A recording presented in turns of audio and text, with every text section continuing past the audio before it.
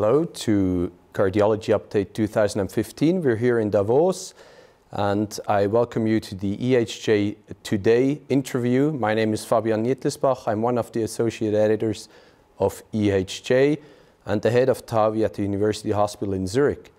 As such, it is a huge pleasure to me to speak today with a legend in interventional cardiology in Europe, Professor Alec Vahanian from Bichat Hospital in Paris. Very welcome. Thank you, Fabian. Alec, tell me, in the last years, ever since TAVI started, what were the biggest hurdles that we have overcome to be where we are at the moment? Well, I think there are multiples. There are multiples, but I should say, as a sort of introduction, we were very successful because we went, I think, slowly. So the big hurdles could start with the performance of the procedure, let's say. The performance of the procedure in the very early days, we, I think we did, uh, we are the second group in France to start after the, the pioneer, uh, where it was a very, you know, cumbersome procedure. Everybody was extremely anxious. Surgeons were operating, opening everything. We had the heart machine ready. Uh, every, everybody was extremely concentrated. Now everybody is still very dedicated, but it's becoming smoother and smoother. The procedure in our case is done 90 plus percent under sedation, local anesthesia. The procedure is done without any TEE, and the devices are much smaller, which allows uh, transfemoral access in the vast majority of them. We have probably much refined the way we deliver the device, and also we much refine the way we assess the result in the cath lab, and much more uh, standardize the way we follow this patient. But there is a rule. It becomes simpler, but it's not simple and we should always be ready as a group. That's the first step, let's say. Right. So, what do you think was was the key point to get there? Was it more the experience that we gained over years? Is it technique? Is it a combination? Uh, what was the biggest achievement? I, I, think the experience plays a key role. Everybody agrees with that, and I guess you share the, same experience. Experience is very important but it is a team, team spirit. That's a great achievement. In the field of PCI, despite what we, was written by our friends in the guidelines and revised the first one, the heart team, to me, really was born around the TAVI.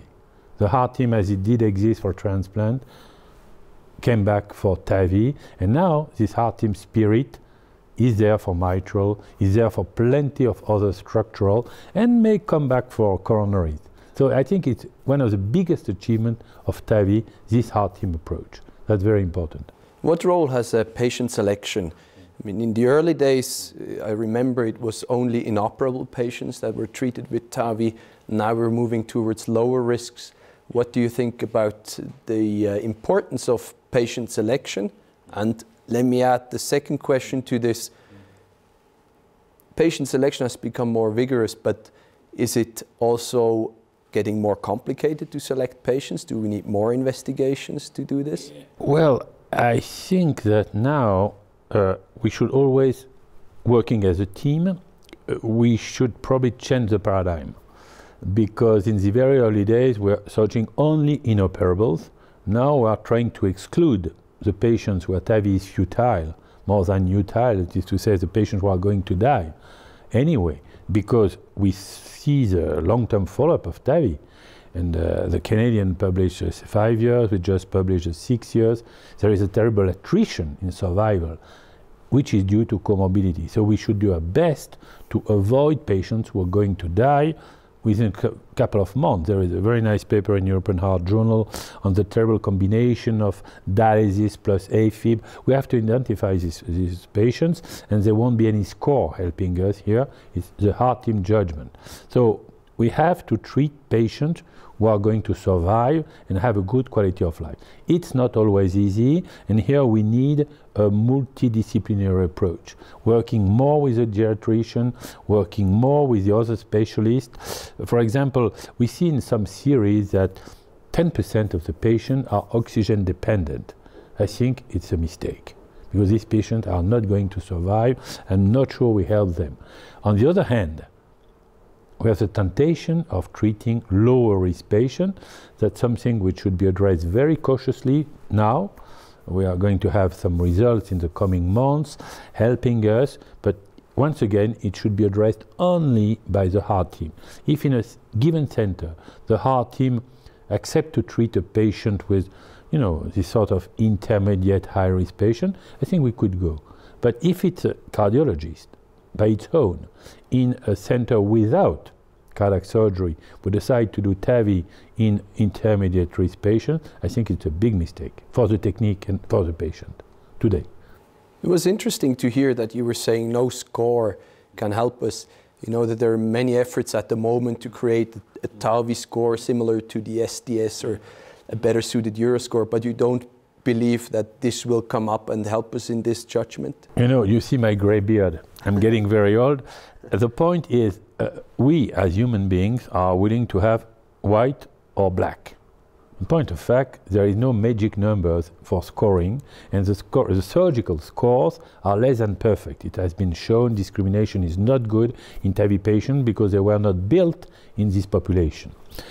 There are a couple of attempts to find TAVI score. We, we published with Bernard Iung and the French uh, France 2 registry a score. Uh, the Italian colleague published a score, and the partner people published scores. These scores are interesting, they do help, but the C index discrimination is 0.6 something. So they are not perfect, and there are plenty of explanation, but let's say it's an effort, but still not satisfactory 100%. Once again, we need the judgment because it's very difficult to put all the risk factors of this highly heterogeneous population in a score. So as long as we cannot put all the parameters, how can we expect a score to make the game? It's impossible. Right. So this is probably making our job as uh, medical doctors important, and that's actually a good sign, right? I think so, yeah. so if we're talking about TAVI today, I, am actually very interested in how you think TAVI will be performed, let's say, in five years. Do you think that TAVI will just be the first line treatment in the future for aortic stenosis? Or is it more becoming uh, an option also for younger patients? uh, having a valve-in-valve procedure in mind in the future. What is your vision on, on TAVI in five to 10 years? Well, I think, where are we now? We see it has been done in 150,000, I don't know how many thousands of thousands. Well, the technique is improving every year, the device are improving. We have results. Complication rate is still there, but decreasing, nicely decreasing. We don't have very long-term follow-up. We have five, six, seven years, but no bad signals. So all these things are, you know, making me quite optimistic. So really, if you ask me what will happen in five or ten years, let's say ten years, I'm pretty sure that surgery will be performed only in case of contraindication to TAVI. In the vast majority of patients with aortic stenosis. Don't speak about aortic regurg, to me it's not the field for TAVI. But I think this is going to happen, 10 years or something like that. Uh, I'm pretty optimistic, but we have to evaluate it very, very cautiously as a team once again. And the surgeon will be performing TAVI. Right. It happens. It happens. But we should be ready to face this revolution because this revolution will need a complete reorganization of the departments. Um, because if, uh, for example, uh, I think in New York or in other places they do more than 500 a year, uh, it takes uh, some adaptation. I think the surgeon will be doing TAVI now, and the interventionist should look and should be involved in TAVI more and more. But I don't know how it happened in Zurich, but in other places, for example, there is still a, a structural team and a more coronary team. It uh, should be integrated into the training of the young, young interventionists. So we have to, to work on that and uh, to build maybe not Francesco Maisano everywhere, but have uh, young surgeons involved as practicing uh, interventionists. Yeah, I think that is a very nice final word for this conversation. It was great talking to you, and I uh, fully agree that in the future it will be not uh, cardiology and heart surgery, it will be teams, and it's a team spirit, and it's nice to work with friends. Thank you very much for this, uh, for this outlook, and uh, have a good day. Thank you, Fabian.